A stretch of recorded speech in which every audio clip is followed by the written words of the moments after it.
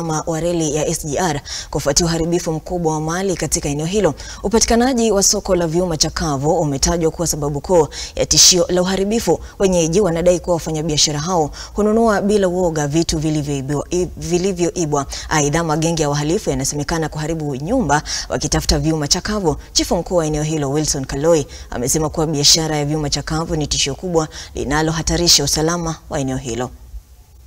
Majuzi kumetokea mambo ya wizi kidogo ya waya, babu waya, mesh waya ya ile iko kando ya hii laini ya SGR.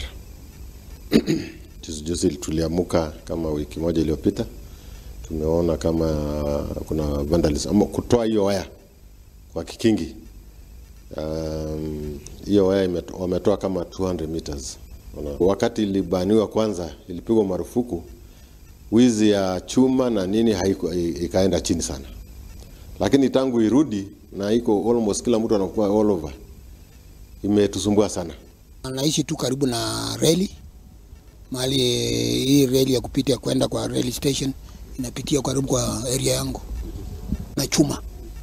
Kitu yote kama ni waya nini yote hiyo ndio inaibwa, alafu kiete kitu kama karai yote hapo yote hiyo naibwa tu hivyo, vitu yote inahusika na scrap na iwe chuma nini yote hiyo ndio vitu wanataka sana.